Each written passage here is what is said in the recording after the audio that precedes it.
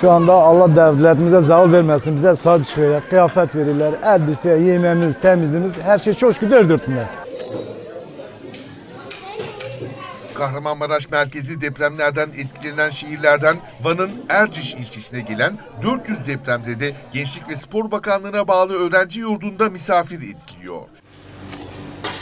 Kurumlar aracılığıyla ilçedeki yurda yerleştirilen vatandaşlara 3 öğün yemek veriliyor. Tüm ihtiyaçları da devletin imkanları ve hayırseverlerin yardımlarıyla karşılanıyor. Aynı zamanda depremzedelere sağlık, rehberlik ve psikolojik danışmanlık desteği verilen yurtta çocukların eğlenceli vakit geçirmeleri için etkinlikler düzenlenerek depremin olumsuz etkisinden uzaklaşmaları sağlanıyor.